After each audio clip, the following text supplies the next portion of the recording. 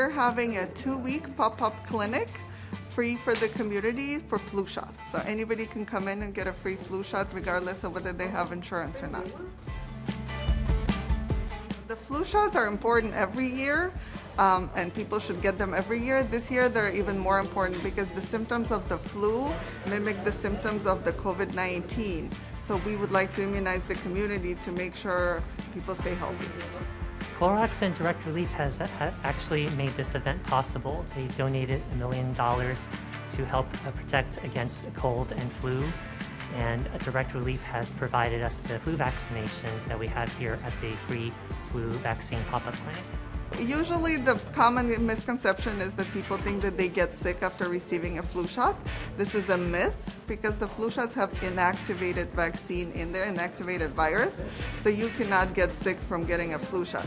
Some people do experience more side effects than others that can mimic flu symptoms, but it's not the flu.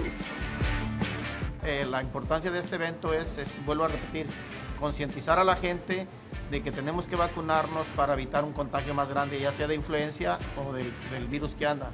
Este, y el, pues, este siempre, siempre en este hospital ha sido grandes eventos, de los cuales estoy muy agradecido de participar en ellos y agradezco pues todo lo que me dan aquí. Free flu vaccine pop-up clinic will be occurring this week and also next week. And then their donations also make the flu vaccines possible at our health centers throughout Los Angeles. So they can always go to our website, queenscarehealthcenters.org. It has information for all the services that we're providing and information on other events that we're hosting.